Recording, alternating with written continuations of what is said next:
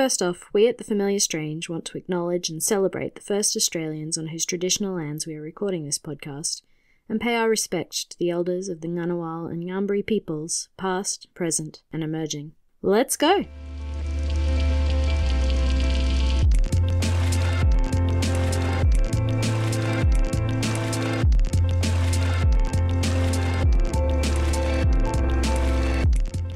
And welcome to The Familiar Strange. I'm Jodie Trembath, your familiar stranger today. I'm recording this intro from underneath the blanket on my bed because I'm currently in Sweden, and I tried to record this from my desk at the Stockholm Centre for Organisational Research, but it has these gorgeous high ceilings which sadly do not produce good podcast sound. Today, I'm bringing you a podcast about a topic that I am so passionate about that I am doing a PhD about it the neoliberal university. It's been a rough year for academics of the neoliberal university. And frankly, it's not an easy time in history to work in the public sector in most countries. So, even though I recorded this interview with Professor Cris Shore last December at the Shifting States Conference in Adelaide, a lot of what he says here is particularly resonant right now. But it's made me think through the mission of the public sector and my own place in it, and I hope it does that for you too. Professor Cris Shore is an anthropologist of policy with a particular interest in neoliberalisation of the public sector and audit cultures and also corruption. So, we talk particularly in this interview about his new book with Susan Wright, Professor of Educational Anthropology, and that book is called The Death of the Public University. We talk about the precarious future of public universities. We talk about how the neoliberal agenda ties into the themes of anti intellectualism that permeate our current post fact world. And we always come back to how anthropology and anthropological thinking can help us to unpack these big, monolithic ideas. So, here it is me and Professor Cris Shore talking about the prices we pay for the neoliberalisation of the public university.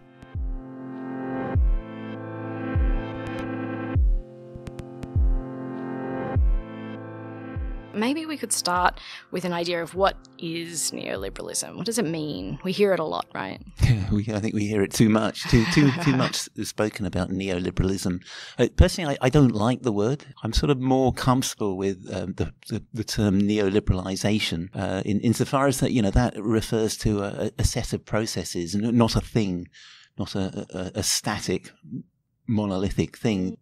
I suppose from from an analytical point of view, there, there are different strands that come together. Um, I, I, like to think of neoliberalization as a it is an assemblage of, of, different projects that get sort of bundled up. I mean, one project was about the you know I, I grew up in Britain and was living there in the 80s when Mrs. Thatcher and her government started to introduce a series of reforms that were really designed uh, uh, cost-cutting measures, but uh, with a political project behind the economic one of, of actually shrinking the state, you know, rolling back the frontiers of, of the welfare state, mm-hmm. and and that version of neoliberalization involved um, outsourcing. It involved um, uh, introducing quasi markets into uh, areas of public life where markets didn't exist and, and actually couldn't really exist, like uh, health services and, and, competitive tendering. But there's another dimension that often gets confused and conflated into neoliberalism, and that's that.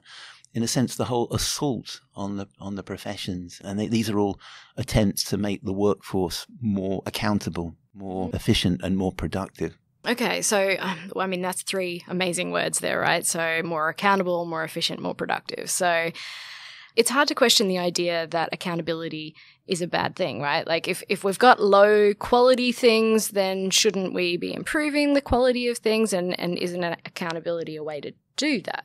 Well, you're right. I mean, you're right in the first part that it, it's very hard to to disagree or to challenge the the claim that you know uh, accountability is a bad thing. You know, it's, it's one of those weasel words that you you can't. It, you, you no reasonable, self-respecting, rational person could possibly be opposed to accountability or transparency or, or quality. Be like saying I'm I'm against community or I yes. I, I think the family's a bad thing. So you can't oppose it. So you therefore have to align whatever you do. Uh, in terms of um, the, the mantra and the mandate to be more accountable. But what happens when you try to put that word into practice? Again, it was all part and parcel of the assault on the public sector. How do we make these public sector employees doctors, nurses, academics, teachers, firefighters, police officers. They're not subject to the, the rigorous disciplines of the competitive free market. Therefore, how do we guarantee that the taxpayer is getting value for money? So they're introduced as, as a technology to render these disciplines more efficient, effective, and economical. You know, the three golden E's, and then they get attached to the value for money mantra. And together, this forms a managerial package that is really quite disciplining and quite coercive in the way it's meted out. An assault implies a subject that is doing the assaulting, right? So, with something like neoliberalization or um, market forces or, you know, these big ideas, who is it that's doing the assaulting? And and you were asking who are we accountable? Like who is the who in these big ideas? That is a good question. Uh, in a way, we've now had 25, 30 years of a project uh, that goes under that label of you know neoliberalism, neoliberalization of marketization in, in New Zealand, Australia, and the UK. I mean, it sort of begins in the 80s with a, a repudiation of the, the, the, social democratic model, a repudiation of the welfare state. Uh, because re- it was bad? It's the the conservative idea that best government is small government, that the role of the state should be more like the night watchman you know, small, minimal, non-interventionist. And it's based on a, I think, a really spurious, flawed theory that if you roll back the state and shrink it, then you, uh, you're simply opening up space for private providers, civil society to move in there, and that somehow the state is your, your the obstacle to, to growth, entrepreneurship.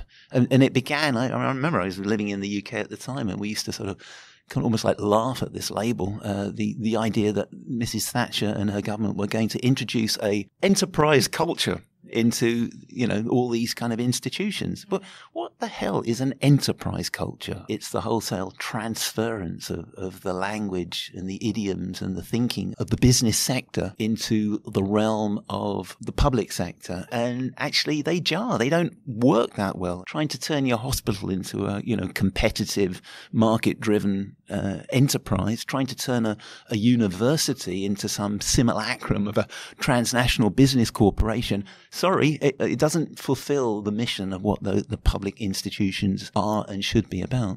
So that's a really interesting point. What is the mission of the public sector? And let's let's focus in on universities because that's the the area of this new book of yours. What is the mission of a university? What I mean that sounds like an obvious question I think, but from an anthropological perspective, what does a university do? What work does a university do? That the public sector is a sector that stands outside of the, the realm and the logic of, of the market. That it's, you know, it therefore embodies the mission and the meaning, embodies a series of, a set of values that are about the public good. So you ask, you know, what's a university for? Well, I think it's it's an institution that, in many respects, should be free from market influence. We, otherwise, you know, it, it's a place of higher learning. And it's not simply there to fulfill commercial um, agendas or private interests. You know, it should be there as a as a sort of resource for the nation, a bit like um, our public art galleries and our museums. You know, it's like they should be free. The nation's paid for it, it and it's it's about um, bringing on the next generation of uh, of leaders as well. But it's yeah, it's also about challenging received wisdom. Um, one of the very few spaces in society where we give license to people, scholars, to question orthodoxy and to act as critic and conscience of society. And the reason that's important, and, and this is a really serious point, is democracy needs those things. So th- that's it. You know, I, th- I, think that there is a there's a role for a public university, uh, and it really is part and parcel of that ethos, and that ethos has been under assault higher education is not something I think that if we are sensible and wise, we would seek to protect it from the commodification Otherwise, once universities are, are captured by commercial interests, then what's left? Well, yeah, what's left? I mean, that's that's a good question, isn't it? Because I mean, if universities are the final bastion of the source of knowledge production and also the place where where knowledge can be nurtured and we take that away, what happens next? I mean, what do you see for the future given the current state of public universities? I don't know. I, I think, you know, at the moment, um, higher education uh, is going through a very rocky period at the moment, um, particularly in, in the countries where uh, we have um, conservative, neoliberal inspired policy uh, agendas. The UK is a good example.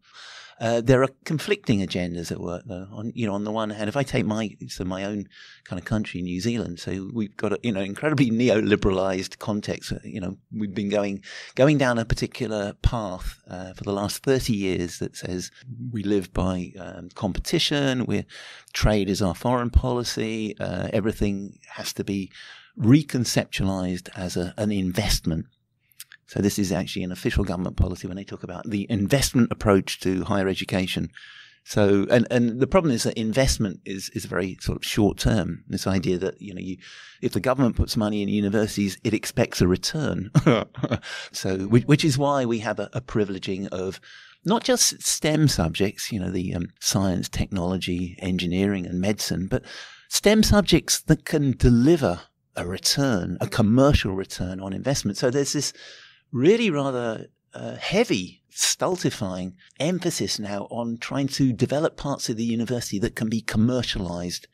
But you you asked me the question, you know, so what's the future of, of the public university? Um, I think if we if we continue recklessly down this path, then it's looking very precarious. You know, I can see the breakup of the university system as we know it. Um, put it this way: if it's something that we value as a as a nation, uh, or even as as academics and as policymakers, then it should be something that we would be prepared to invest in. You can't have a public university system that is left to its own devices uh, with progressive disinvestment of state funding, told to find its own income streams, uh, or to what to to increase student fees to the point where it becomes impossible for ordinary families uh, to send their kids to university. So you know we we regress to a sort of pre-war situation where you know higher education universities are, are only for the the children of the elite. No, thank you.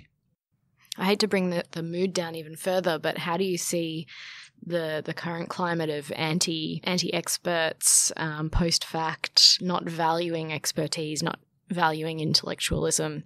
How do you see that playing into that potential decline? I mean, the reason I ask is because you said if we value these things, and I wonder whether we, as a society, still do.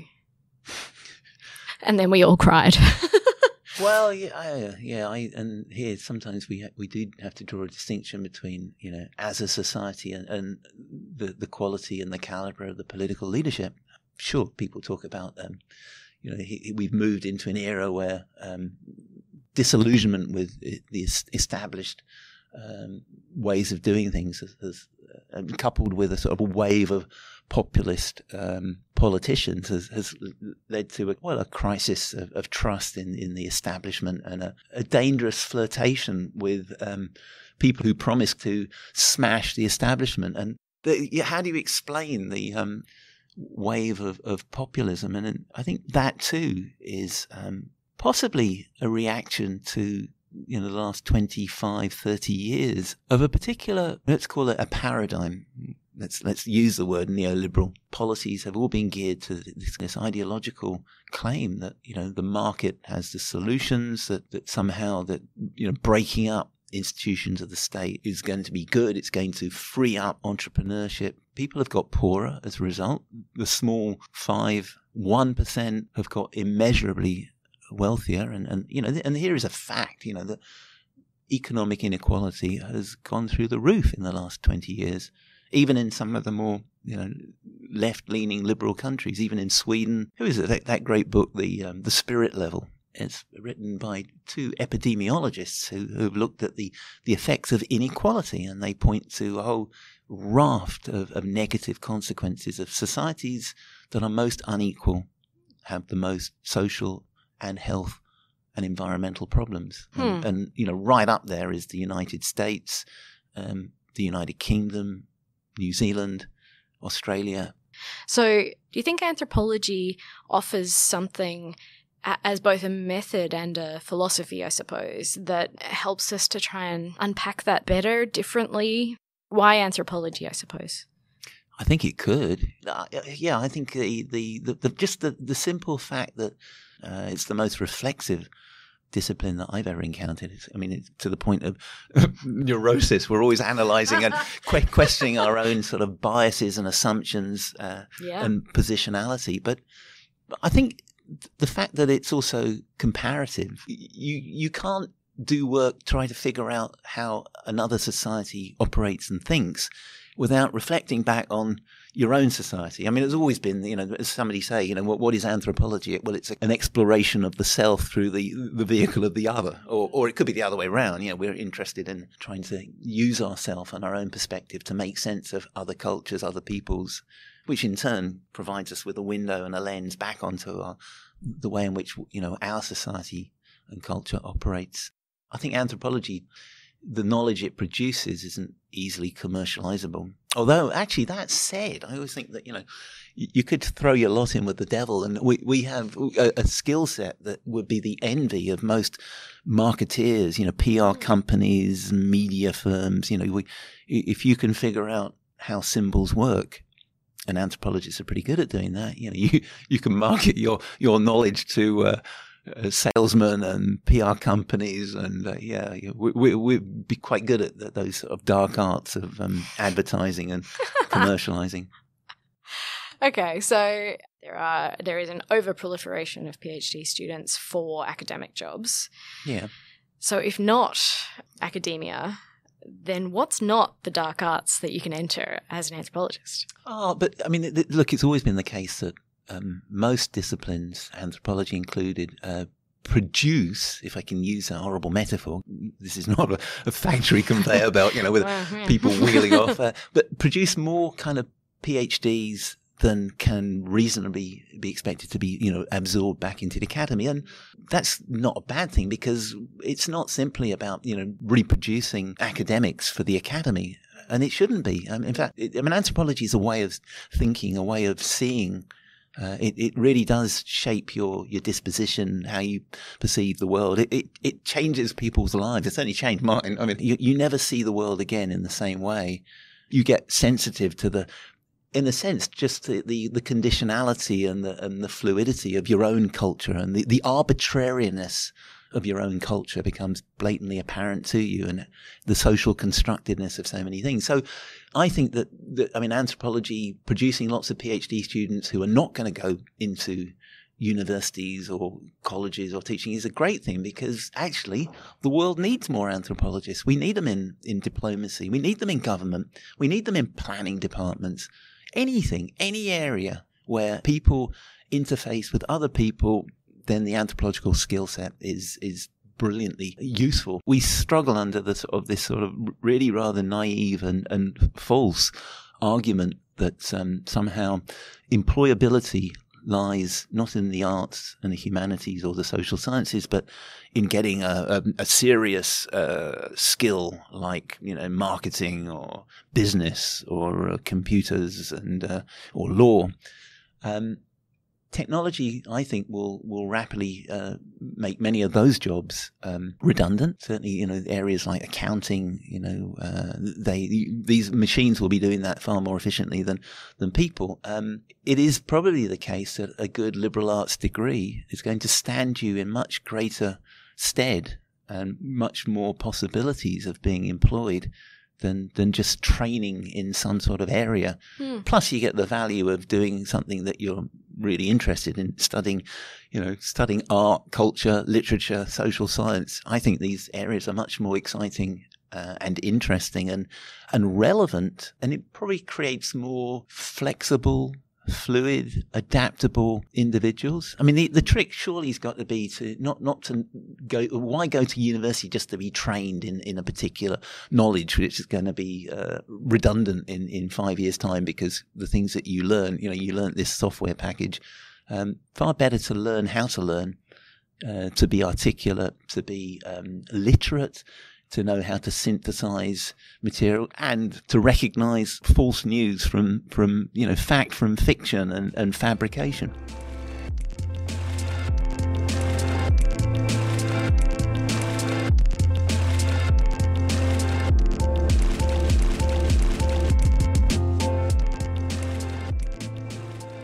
Talk about practice for a bit, um, and particularly because the kind of anthropology that you do and also that I do is not necessarily the traditional Malinowskian kind of anthropology, right? And in um, your book, The Anthropology of Policy, you talk about that as um, not so much studying down or studying up or even studying sideways, which I think is a Ulf Hannerz phrase, right? But you talk about studying through.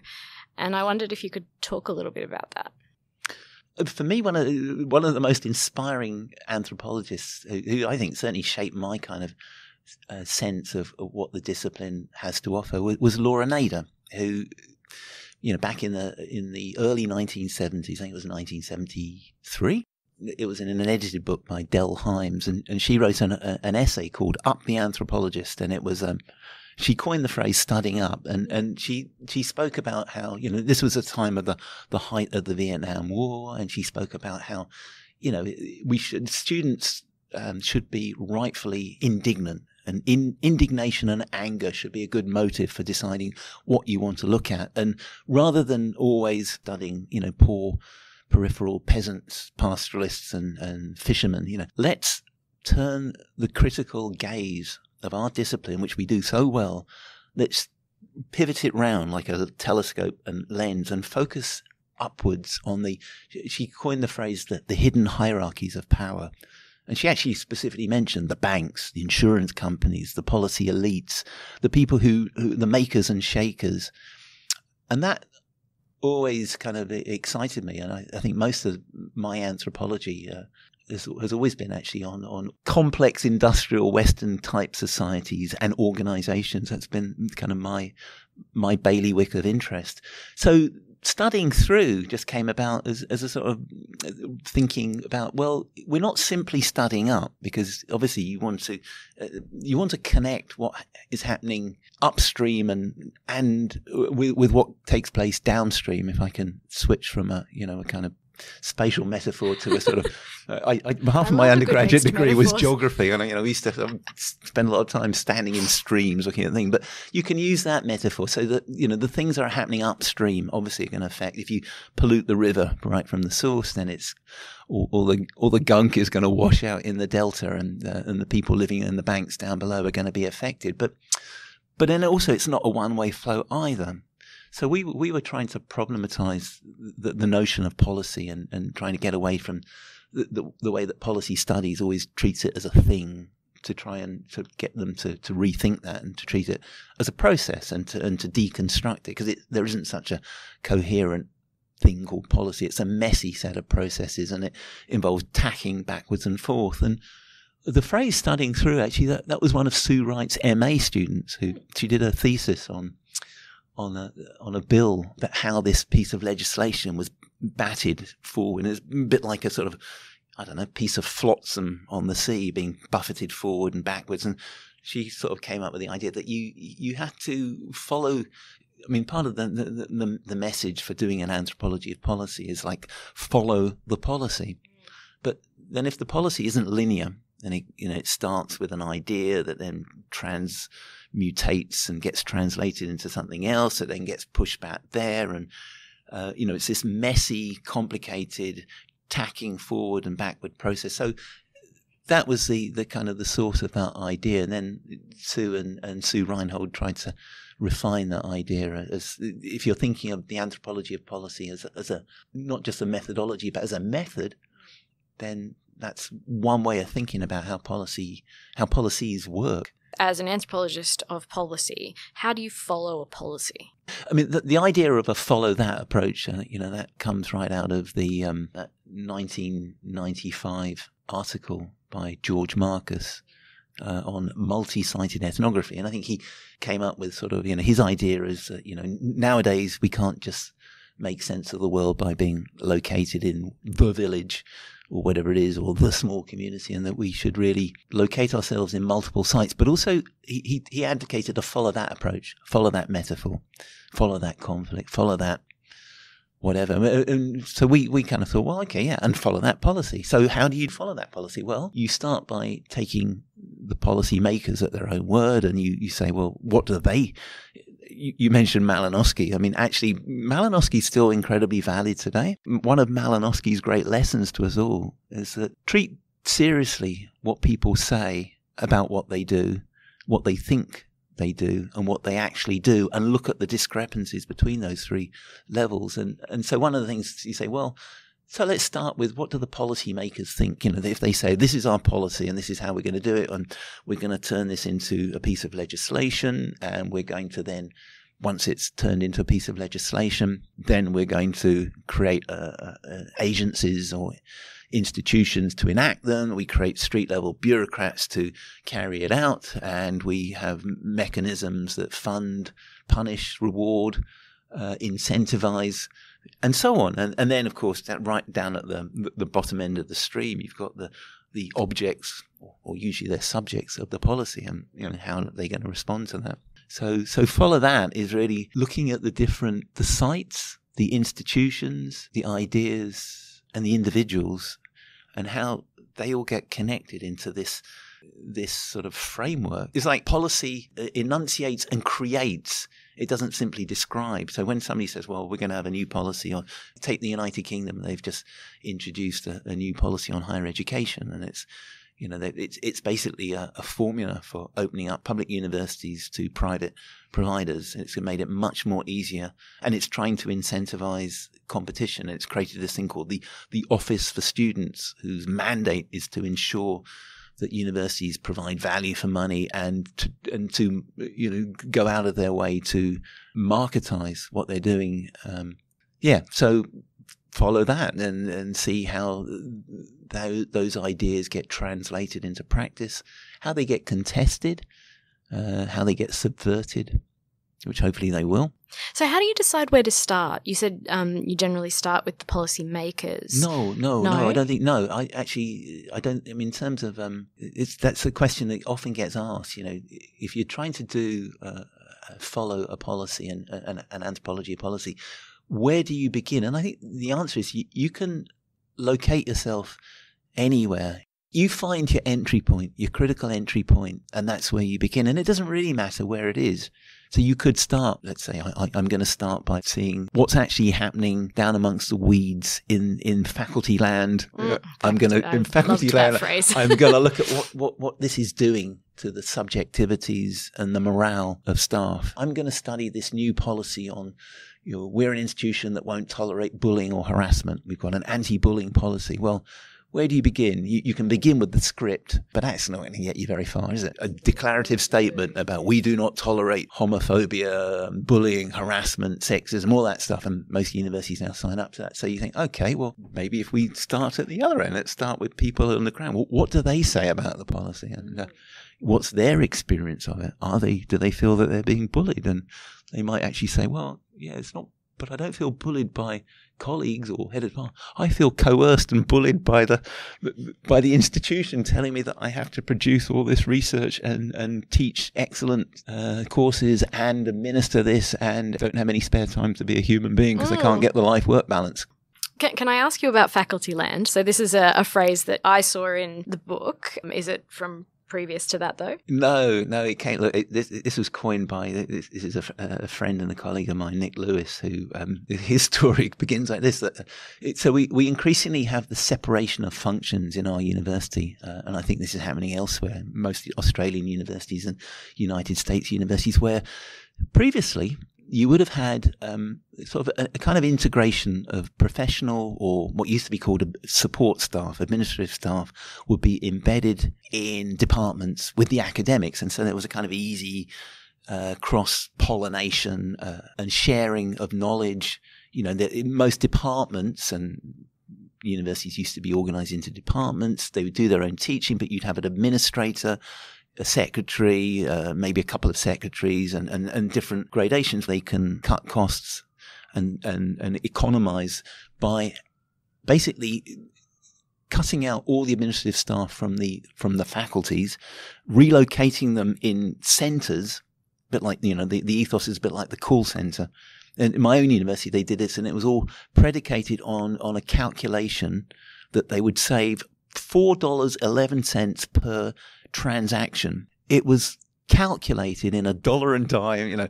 Um, but this is how public institutions are being run these days by really by accountants who who are basically you know they they the, bottom line is usually the the justification. They say oh well, budgets are tight. We have to make savings. You know we're a public institution therefore we're responsible to the taxpayer. The government is year on year underfunding us. We have to make cost savings and this is the way to do it. So you embark on major overhauls and restructuring. And um, so the phrase faculty land so one of my colleagues is he's um, under enormous pressure to submit his research grant application.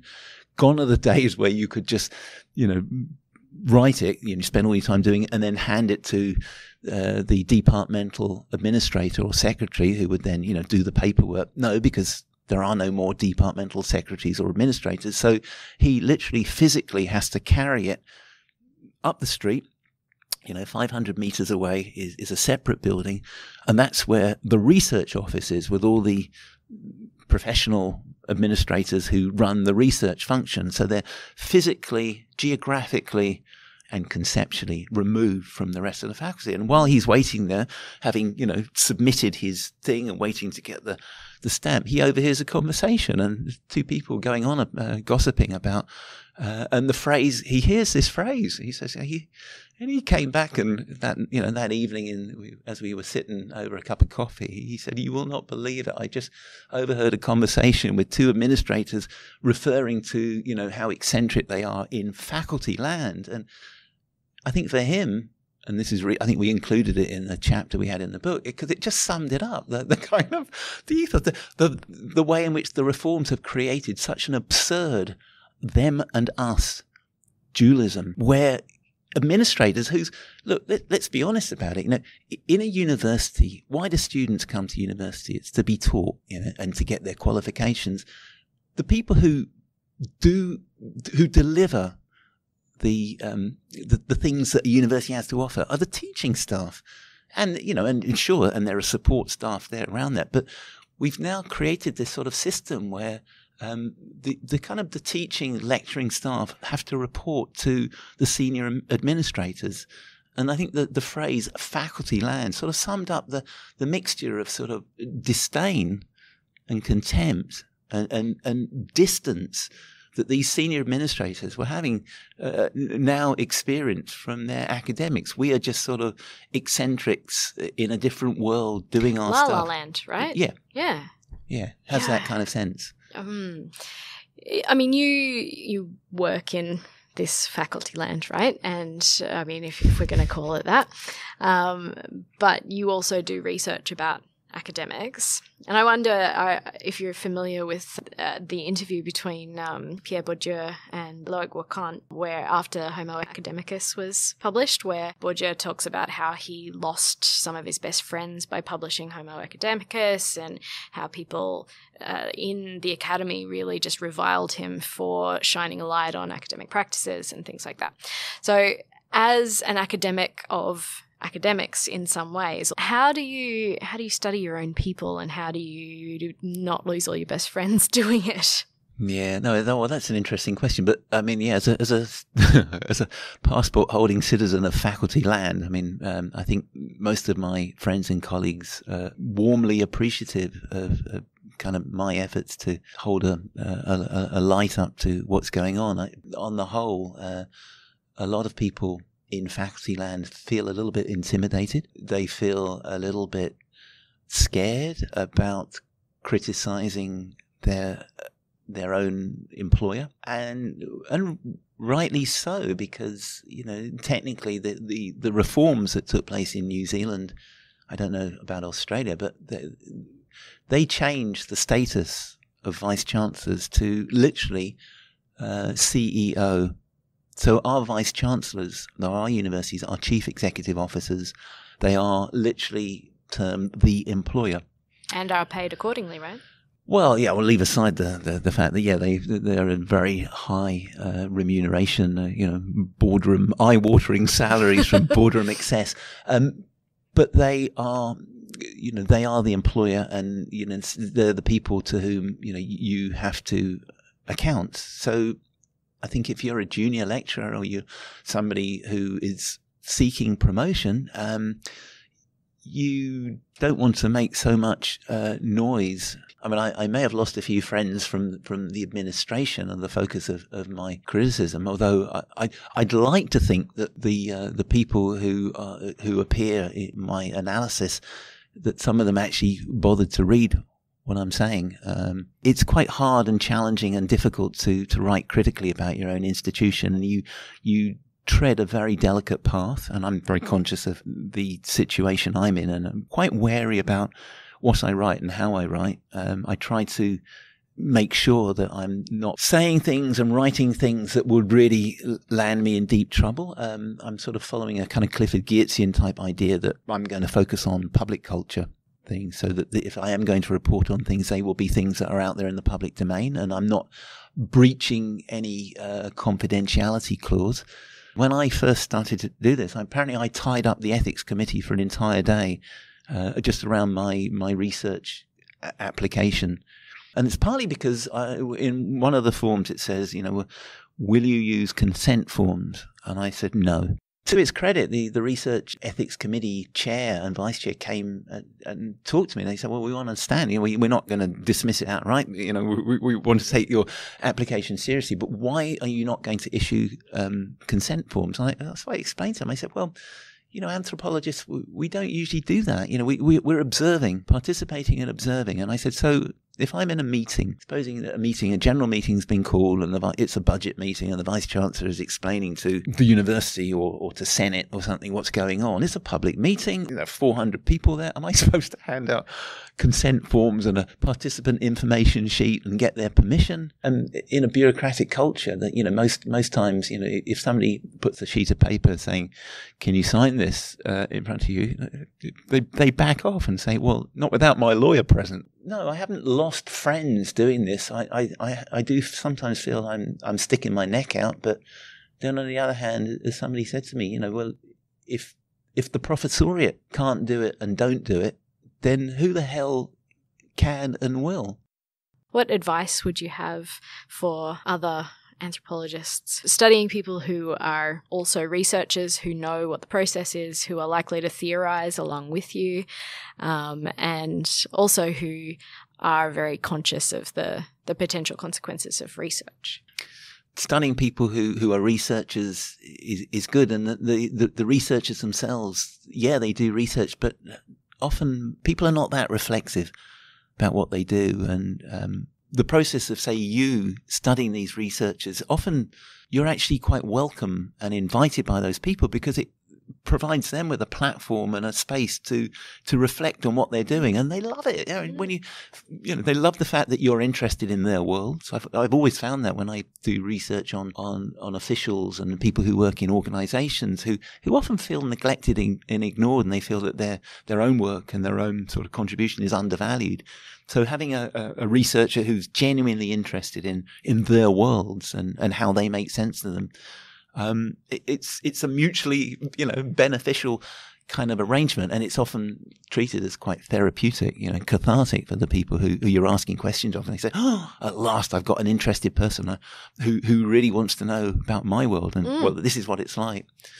Um, secondly, you know, what advice? Well, yeah, do it. I mean, you know, we're, academics and not journalists. This, this isn't about, you know, finding dirt mm. and it's more long term and the fact that you know you're investing in this. If, if you're an ethnographer doing work on researchers, I mean, it's much more important to try and really understand how these organizations and institutions operate, particularly as they're going through such major transformations. And surprisingly, not that many people are doing it. And thirdly, I think it would increase your employability because you you master not only do you master sort of certain skill sets of how you do this kind of research, but you you gain really good knowledge on on, an, on a sector on an area.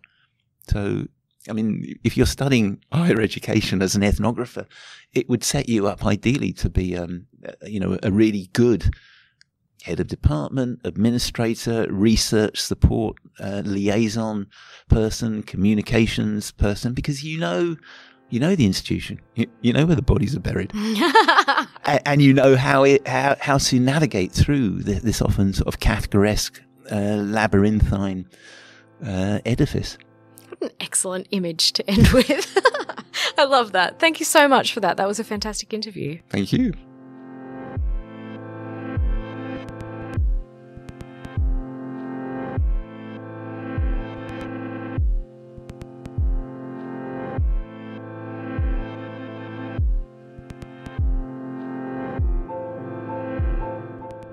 So that was it, me and Professor Cris Shore.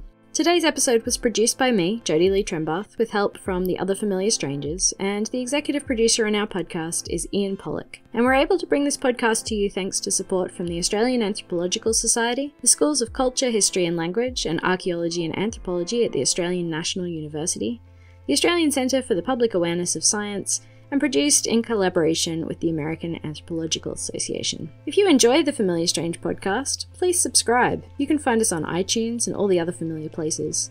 Don't forget to leave us a rating or a review with your likes and dislikes. It helps people find the show and it helps us make the show better. You can find the show notes, including a list of all the books and papers mentioned today, plus our blog about anthropology's role in the world at thefamiliarstrange.com. A recent post on the blog is actually one of mine and related to this podcast, titled The Neoliberal University is Making Us Sick. Who's to blame? Check it out at thefamiliarstrange.com. If you want to contribute to the blog or you have anything to say to me or the other hosts of this program, email us at submissions at thefamiliarstrange.com. Or you could tweet us at TFS Tweets or look us up on Facebook and Instagram. Our theme music is by Pete Dabro. There's a link to his EP in the show notes. Special thanks to the excellent folks at the Stockholm Centre for Organisational Research, as well as to Julia Miller, Will Grant, Nicholas Trembath, and the awesome designer of our logo, Maud Rowe. Thanks for listening. We'll see you in two weeks for a panel episode, the first time all four familiar strangers will have been in the same country at the same time in four months. And until next time, keep talking strange.